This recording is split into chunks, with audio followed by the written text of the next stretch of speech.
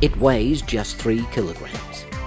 You open up the tripod legs and adjust the height. The red disc sits on top of the black metal one. You insert the bolt through the center of both of them, put on the metal washer at the back, and tighten the wing nut.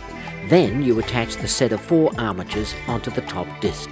You've got a choice of two different sets depending on the size of paintings you work with. Both sets are adjustable and will take multiple size paintings. The center disc will tip to horizontal, move up and down, and rotate.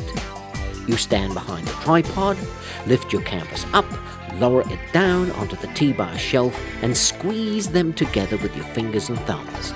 Then you lock in the bottom armature followed by the left and right sides.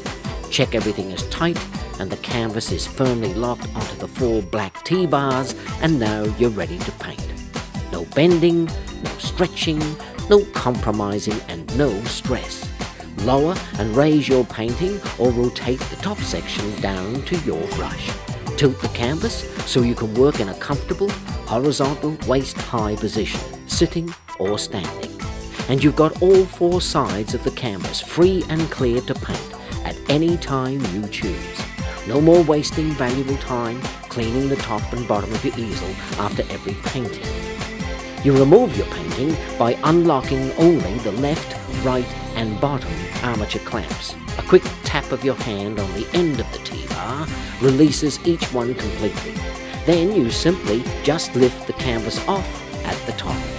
You can pick up your easel with the canvas still attached and walk forwards, or backwards if you like to live dangerously. I haven't tried sideways yet.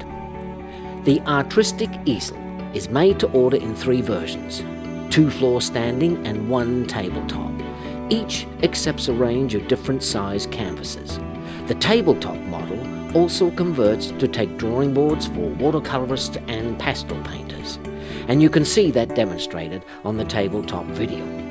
The big and small differences of these easels combine to give you total control of your art in ways that will affect how you paint forever.